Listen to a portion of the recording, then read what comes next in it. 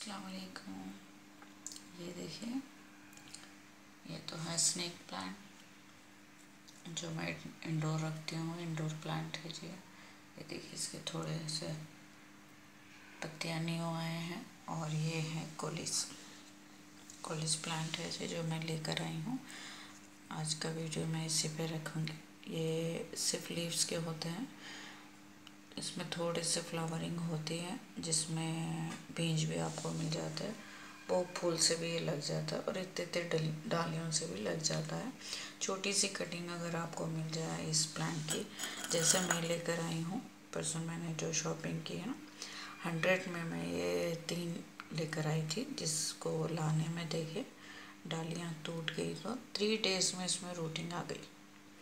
सिर्फ़ महज तीन दिन में इसमें जड़ें आ गई हैं। ये दिख रही हैं आपको वाइट कलर की जड़ें। सिर्फ़ तीन दिन मैंने इसे पानी में रखा और ये देखिए आप, इसमें रूट्स आना शुरू हो गए। ये पानी में बहुत आसानी से लगने वाला है। इतनी सी छोटी सी डाली से भी आप प्लांट तैयार कर ले सकते लेकिन मैं इस वक्त ले आई थी। मुझे ज़रूरत थी और मुझे अच्छे लग रहे थे। मेरे पास नहीं थे ये।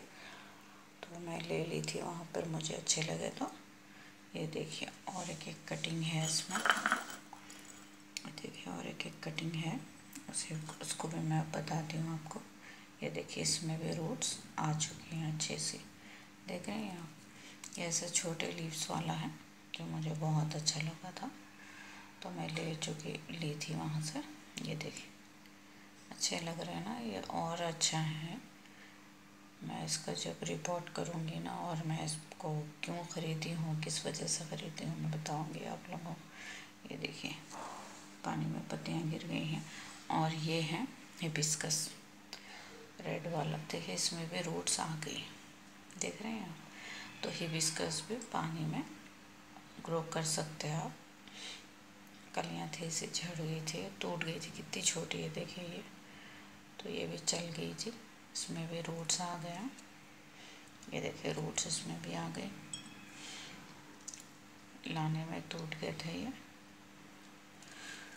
और इसमें तो अच्छे खासे रूट्स आ गए हैं और ये आसानी से लग भी जाता है। और मट्टी की अगर आप बात करें तो नॉर्मल सॉइल सैंड और मैं गोबर की खाद डालती हूँ जिस साल में दो बार हर हर उसमें डाल देती हूँ। मैं हर प्लांट में यूज़ करती हूँ तो मैं इसमें भी डालती हूँ।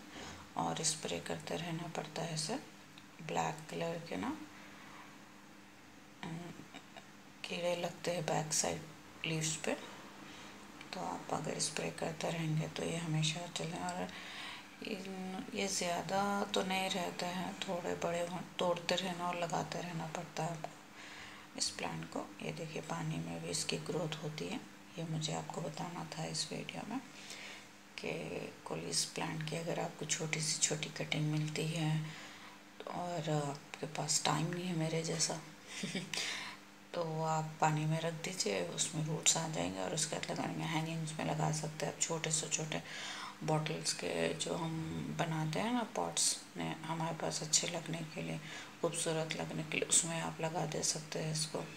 इतनी सी डाली अगर आप उसमें लगाएँगे तो चल जाएगी अच्छे से। तो ये था जी आज का वीडियो। फिर मिलते हैं नेक्स्ट वीडियो में।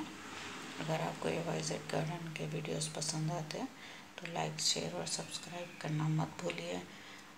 ठीक है, चलिए जी, यही था आज का वीडियो। फिर मिलते हैं नेक्स्ट वीडियो में। जब तक के लिए अल्लाह हाफ़